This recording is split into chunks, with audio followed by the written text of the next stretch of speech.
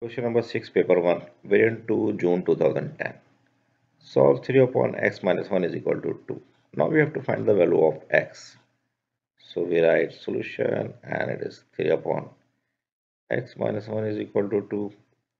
We may shift x minus 1 from left to right and it become denominator to numerator. So it can be written as 3 is equal to 2 bracket x minus 1 insert the bracket because 2 must multiply with the both term. Further it can be written as 3 is equal to, now we have to open the bracket by multiplying 2 all the term inside the bracket so 2 multiplied by x become 2x and the plus minus minus 2 ones are 2. Further it can be written as 3 plus 2 is equal to 2x. These two move right to left so we have to keep x at one side and the constant at other side.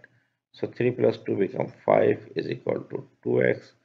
Further it can be written as 5 upon 2 is equal to x. 2 is multiplying with x when it goes across the sign of equal to it come in denominator. It is in numerator and it is in denominator after uh, coming across the sign of equal to. Further it can be written as x is equal to 5 upon 2 or it can be written as 2 whole 1 upon 2 because when we divide 5 by 2 it becomes 2 to the 4 remaining is 1 so it is 2 whole this is 2 whole and it is 1 upon 2 so answer is 2 whole 1 upon 2 or 2.5 both are correct move to part B and it is given that P is equal to 2T minus R express T in terms of P and R. Actually the subject is P right now. P is equal to 2T minus R and we have to express T.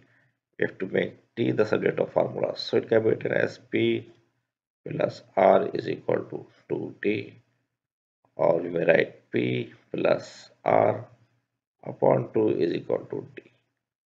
Now the T is the formula or we usually write the subject of the formula at the left side and the R term R at the right side.